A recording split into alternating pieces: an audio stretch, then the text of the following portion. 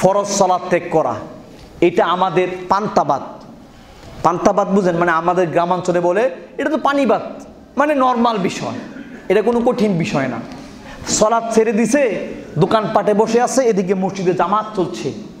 মসজিদে জামাত চলে, ওখানে দোকানে বসে চা খায় আর আড্ডা দেয়, ওখানে কথাবার্তা বলে, তর্ক বিতর্ক করে, তার মুখ দিয়ে হাসি বের হয়।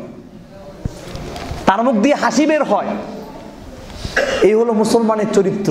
সে যে কবিরা গুণা করতেছে, সে যে সলাদ ত্যাগ করতেছে, এর কারণে কেয়ামতের দিন আল্লাহর কাছে দাঁড়াতে হবে, কাঠ করে দাঁড়াতে হবে। এটা তার মাথাই নাই, তার ভয় নাই। একটা হলো আপনি অপরাধ করলেন, ভিতরে ভয় কাজ করছে যে আমি অপরাধ করতেছি। আপনার ভিতরে অপরাধ বোধ জাগ্রত হয়েছে। আর আমরা কোন ধরনের মুসলমান? মসজিদে জামাত চলে, আর ওখানে বসে আড্ডা দেই, আর আড্ডাতে মুখ দিয়ে হাসি বের হয়। তুচ্ছ তাচ্ছিল্য বের হয়। ইত্রামি বের হয় ইয়ার কি বের হয় আমাদের। এটা আপনিও হতে পারেন। ওই আরেকজন ব্যক্তির কথা চিন্তা করে লাভ নেই, আপনি আপনার কথা চিন্তা করেন। সম্মানিত উপস্থিতি, আল্লাহ বলছেন, যারা সলাৎ ত্যাগ করে, সলাৎ আদায় করে না, তাদের বিধানটা কি? সাহাবিরা ওই বেনামাজি ব্যক্তিদের কি মনে করতে একটু পরে আমি বলছি।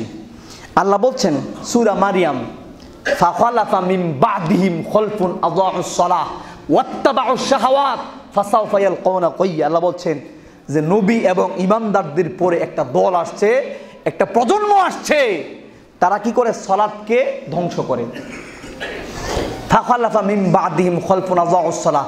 এই গ্রুপটা হলো অপদার্থ। অপদার্থ বলতে কি বুঝেন? কোনো মানুষ হয়ে মানুষের কাজ না বল না করলে আপনি বলেন অপদার্থের মতো কাজ করছে ঠিক না? কোনো মানুষ হয়ে মানুষের মতো কাজ না করে যদি বসে থাকে বা অন্যায় কাজ করেছে বা এরকম বোকামি কাজ করেছে, আপনি বলছেন একটা অপদার্থ তুই। মানে সে পশুর মতো। আল্লাহ বলছেন, নবী এবং ইমানদারদের পরে একটা প্রজন্ম আসবে, একটা দল আসবে। তারা অপদার্থ। তারা সলাৎকে ধ্বংস করে। শুধু সলাৎকে ত্যাগ করে না, তারা তাদের প্রবৃত্তির অনুসরণ করে। তারা তাদের শাহওয়াতের অনুসরণ করে, তারা তাদের মনে যা চায়, ওই মনকে রব বানিয়ে নিছে, মনকে মাবুদ বানিয়ে নিছে। তারা শাহওয়াতের এই কুপ্রবৃত্তির অনুসারী তারা কুপ্রবৃত্তির দাসত্ব করে। সুতরাং এই শ্রেণির ব্যক্তিগুলো তারা সলাৎকে ধ্বংস করে। কেয়ামতের দিন তারা গইয়া নামক জাহান্নামের, আপনার জাহান্নামের সম্মুখীন হবে। দুই নাম্বার, আল্লাহ বলছেন, সুরা মুদাসির মা সালাকা কুমফি সাকর। গত সপ্তাহে বোধহয় সলাতের বিষয়ে একটু আলোচনা হয়েছে ঠিক না? আলোচনা হয়েছে। আপনি কীরকম মুসলমান? আরে আপনার কথা চিন্তা করেন ওই গত সপ্তাহের আলোচনা শুনে যদি আপনার একটু পরিবর্তন না আসে আপনি যেই সেই। লোহাকে যেরকম হাতুড়ি দিয়ে মারলে যেই সেই এটার শোনা হয় না। ঠিক তদ্রুপ আপনার চরিত্র তো এরকম।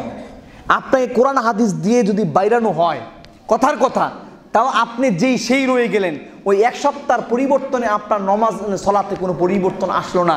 আপনি যেরকম গত এক সপ্তাহ আগে যেরকম নামাজ পড়েন নাই, গত আলোচনা শুনেও আপনি এখনও সেরকমই রয়ে গেছেন। সুতরাং এই আলোচনা আপনার কোনো পরিবর্তন হচ্ছে না, আপনি অপদার্থ। কোরআনের ভাষায় আপনি অপদার্থ, আমার ভাষায় না। মন খারাপ করলে কিচ্ছু করার নাই।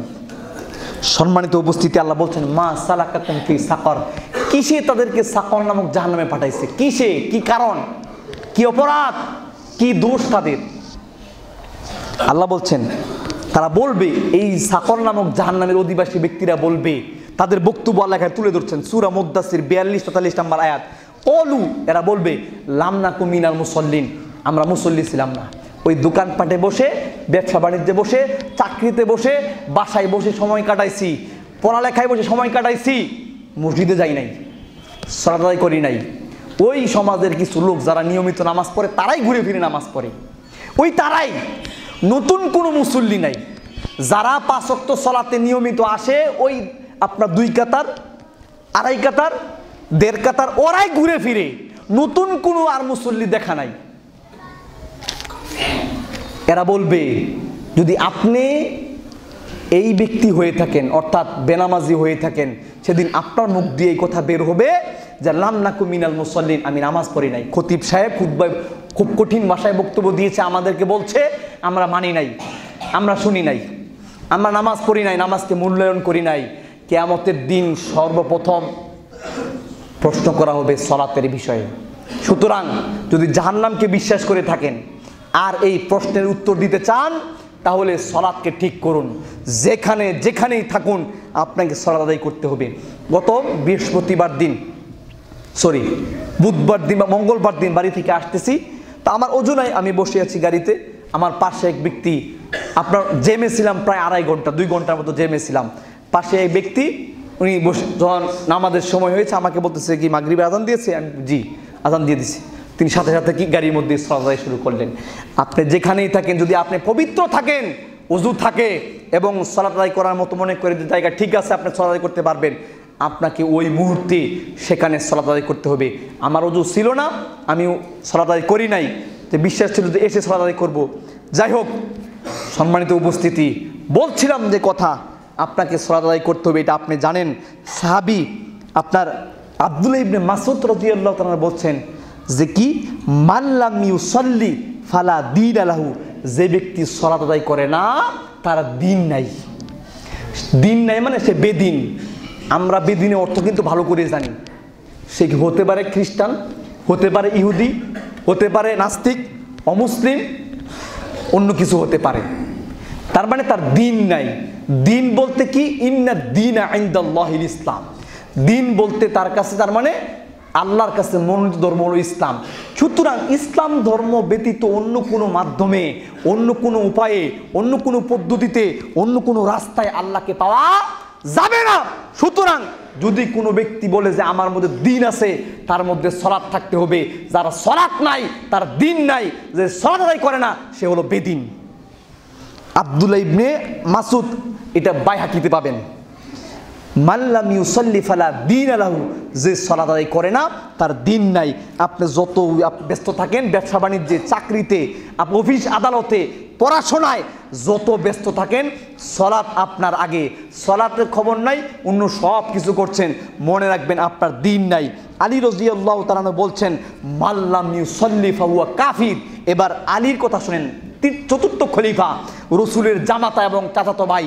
তিনি বলছেন মাল্লামি সল্লি যে সলাত আদায় করে না, ফাহুয়া কাফের, সে হলো কাফের, সে হলো কাফের, সে হলো কাফের। আল্লাহ রসুল বলছেন, আমাদের মধ্যে আর কাফেরদের আর মুশরিকদের মধ্যে পার্থক্য হলো সলাৎ সুতরাং যার সলাৎ নাই, তার দিন নাই, তার ইসলাম নাই, তার ধর্ম নাই, তার আল্লাহ নাই, তার কিচ্ছু নাই। সম্মানিত উপস্থিতি, সময় শেষ। আল্লাহ বলছেন, এক শ্রেণির সলাৎ আদা- আদায়কারীদেরকে জাহান্নামে পাঠাবেন। সলাৎ আদায় করেও জাহান্নামে যেতে হবে। তার মানে যারা সলাৎকে যথাযথ মূল্যায়ন করে না, তাদের জন্য জাহান্নাম। আল্লাহ বলছেন ফাওয়াইলুল্লিল মুসল্লিন আপনারা সকলেই জানেন, এই আয়াত আপনাদের মুখস্থ আছে। যে ফাওয়াইলুল্লিল মুসল্লিন, ওই সলাত আদায় করার জন্য ওয়েল, জাহান্নাম। তারা কারা? আল্লাহ আন সলাতিহিম সাহুন। সলাতে দাঁড়িয়েছে ইমাম সাহেব সলাতের মধ্যে কি তেলাওয়াত করতেছে ওই দিকে কোনো মনোযোগ নাই। দুনিয়ার সমস্ত মনোযোগ তার সলাতের মধ্যে। আল্লাহ বলছেন আল্লাহ আন সলাতিহিম সাহুন যারা তাদের সলাতের মধ্যে অমনোযোগী, এরা হলো কেয়ামতের দিন আল্লাহ সুবাহর সামনে ওয়েল নামক জাহান নামে যাওয়ার জন্য প্রস্তুত থাকবে। সুতরাং আল্লাহ ইউরাউন এবং তারা যারা মানুষকে দেখানোর জন্য সলাত আদায় করে, যারা ভোটের সময় মানুষের সামনে এসে দাঁড়ায় আর মানুষকে দেখায়, আমি সলাত আদায়কারী, আমি পাঁচ অক্ত নামাজি নিজেদের স্বার্থ সিদ্ধি করার জন্য যারা মানুষকে দেখা আমি নামাজি, এই শ্রেণির লোকগুলো হলো মুনাফিক। আল্লাহ বলছেন যে, ইন্নাল মুনাফিক নার। নিশ্চয়ই মুনাফিকের জন্য সব নির্ধারিত আছে জাহান নামের অতল গহবর। সুতরাং আল্লাহ উন্নত বলছেন আল্লাহ দিন ইউরা নাস। মুনাফিকদের চরিত্র বলতে গিয়ে, যারা মানুষকে দেখানোর জন্য আদায় করে, তারা হলো মুনাফিক। সুতরাং এই মুনাফিক যারা নামাজে অমনোযোগী এবং মানুষকে দেখান, এই অপরাধগুলো কেয়ামতের দিন আল্লাহ সুবাহর সামনে উপস্থিত হবে সব বিষয়। প্রত্যেকটা অপরাধ সেদিন সলাৎ আদায় করেও এক শ্রেণির লোক ঝান নামে যাবে। আরেক শ্রেণির লোক সলাৎ আদায় না করে জাহান নামে যাবে। সুতরাং আল্লাহর কাছে সলাতের অনেক গুরুত্ব। ইসলামের দুই নাম্বার খুঁটি হলো সলাৎ। ইসলামের দুই নাম্বার খুঁটি হলো সলাৎ। এই সলাৎ আল্লাহ সুবাহতালা এই উম্মতে মোহাম্মদীকে দিয়েছেন। পৃথিবীতে নয়, রসুলকে সপ্তম আকাশের উপরে নিয়ে, একদম উপরে নিয়ে, আল্লাহর কাছে নিয়ে, পর্দার আড়াল থেকে সেখানে এই সলাৎ দিয়েছেন। সলাৎ এত বড় পুরস্কার আমাদের জন্য। এই পাঁচ সপ্তাহ সলাৎ আদায় করলে পঞ্চাশ অক্ত সলাৎ আদায়ের সব হয়। এক অক্ত সলাৎ যদি জামাতে আদায় করা হয়, তাহলে পঁচিশ থেকে সাতাইশ গুণ সওয়াব, অর্থাৎ এক অক্ত সলাৎ আদায় করলে সাতাইশ ওয়াক্ত সলাৎ আদায় করার সুযোগ হয়। সুতরাং যারা জামাত ত্যাগ করে, সলাৎ ত্যাগ করে অযথা সময় কাটাচ্ছেন কেমন আল্লাহ সুবাহ তাআলার সামনে বেদিন হিসেবে দাঁড়াবেন এবং জাহান নামে যাবেন। আলোচনা শেষ করে দিচ্ছি। সম্মানিত উপস্থিতি, এই ছিল আমার আজকের আলোচনা।